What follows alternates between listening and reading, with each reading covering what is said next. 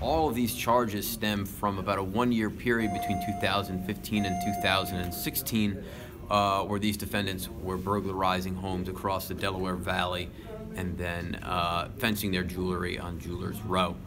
So um, today, um, they've all been found guilty of those charges, and uh, we're going to await sentencing, uh, and we believe we're going to get a fair sentence out of it. Any comment about uh, your conviction, Mr. Linder? No, sir.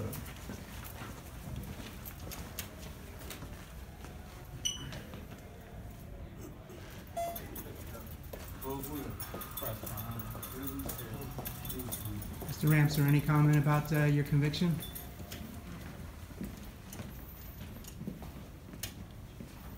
Well, the scheme was a, a pattern of burglarizing high-value homes, uh, mostly around the Philadelphia area. Um, they would oftentimes go in through a second-story window, using some kind of piece of fabric to prevent them from uh, hurting themselves in the process. And at which time they would sort of almost immediately go to the part of the home where the valuables were. And after taking those valuables, they would go to uh, a jeweler on Jewelers Row. Those valuables would be sold uh, without, with few questions asked, and that would be the time in which they would receive the proceeds of these burglaries. Carl Hessler Jr. reporting for Digital First Media from the Montgomery County Courthouse in Norristown.